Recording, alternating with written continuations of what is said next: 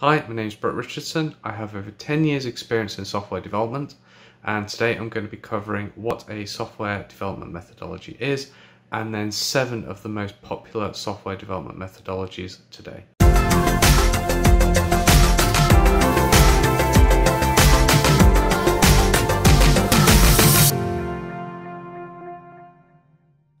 If software already exists, then it's far easier to purchase it rather than paying for a development team to create it. Unwritten software can turn what appears to be a simple task into a black hole of time and despair for everybody involved. This means to reach a successful finished product, we need a reciprocal feedback cycle inside the team and then between the development team and the customer to know if the project is on track. By the word methodology, we simply mean a high level way of working that coordinates efforts for the project we can't test or deliver software before any code is written, and no code can be written without knowing what we are building.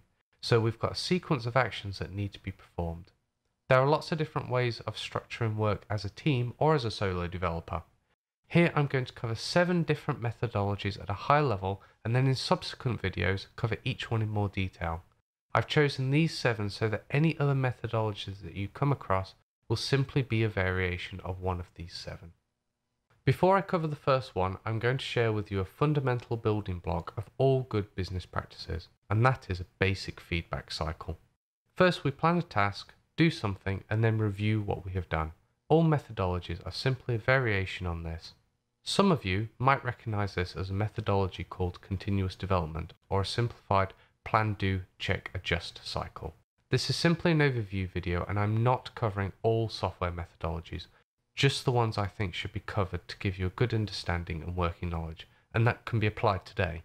Our first methodology is not working with one at all. I like to call this methodology ad hoc, or as one of my bosses used to say, just get it done now.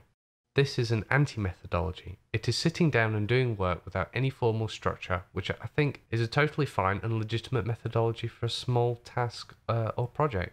Companies typically use this methodology when discovering an integration bug after upgrading a production system. It is the methodology of pure focus without any planning or organization, excellent for a single individual focused on a single task. The waterfall methodology is the traditional view on product development. You start, complete a series of tasks, and then after a predictable amount of time, the project is completed. This methodology is best represented by a Gantt chart where each block flows into the next. This is not a methodology we use in software development because it isn't flexible enough to handle the multitude of unknowns encountered during development or cater for all the project adjustments that are made during development. If you're working on a cookie cutter project that doesn't include any feedback or testing, then waterfall is fine, but this isn't software development. Software development is full of problems and project adjustments that need to be made to keep things going. But somehow, when teams discuss ways of working, this methodology is accepted as a viable option. In my opinion, a lot of companies that believe they are using Waterfall are actually using our next methodology. The V model is a well structured methodology with good formal lines of feedback.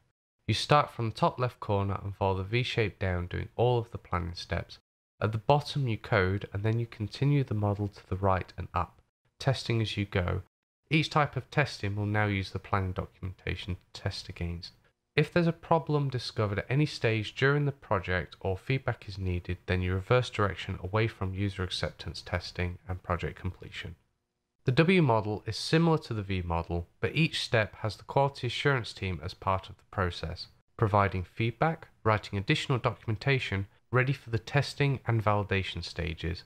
I'm not going to say that the W model is better than the V model because that depends on your project. I'm only going to cover two types of agile methodology.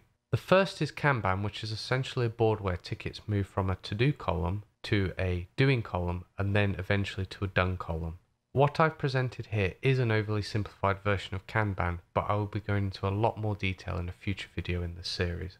Kanban is excellent for solo developers and large teams as it is effective at tracking work and allowing everyone to quickly see the current state of tasks and the overall project.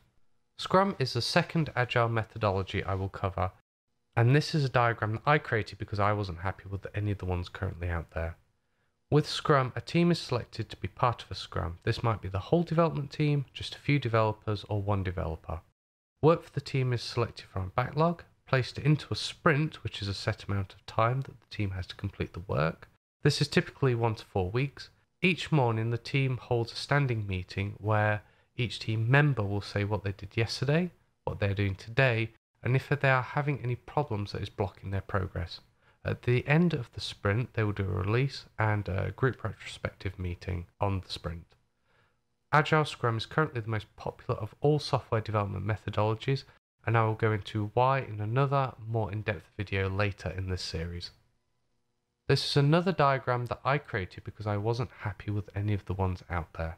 Extreme development is a methodology where only the customer's current highest priority items chosen by the customer are worked on, and releases are deployed to the customer weekly. When a customer requirement is implemented, only the most basic aspects of the requirement is implemented so that feedback can be given by the customer and the customer can receive something sooner. Before any coding is done, unit tests for the feature are created, and coding is always done by a pair of developers working together. When they believe the work is complete, the code passes through the project's unit tests, and then user acceptance tests are performed. Only then is it released.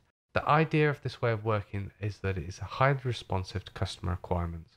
There is a set of values that users of extreme development should have, like communication, good feedback, respect, etc., but these aren't enforced by the methodology structure. I will go into these in more in depth in another specific video on extreme development later in this series. So, which is the best methodology? That depends on the team and on the project. At the moment, Agile Scrum is the most popular, but that doesn't mean that it is the best for all projects. My advice to you is that you should pick one, try it for a set amount of time, and then review it. That review should be finding ways of making the methodology produce better results for your project, be leaner and more efficient. Do not add complexity without need. Often, it is the customer or stakeholder's requirements that chooses a methodology for us. And my final bit of advice is to never allow a methodology to drive you away from what is right. A methodology is there as a structure for work and cooperation, not to prop up your poor discipline or to blame for problems. That concludes my very brief overview of different software development methodologies. I'm currently producing the rest of this series covering each methodology in detail, uh, plus one very useful bonus one at the end. There'll be a direct link to those in the video description below or click the pop-up in the top right corner. Uh, if you found this video useful, hit the like button and if you want to watch more content like this, uh, hit subscribe.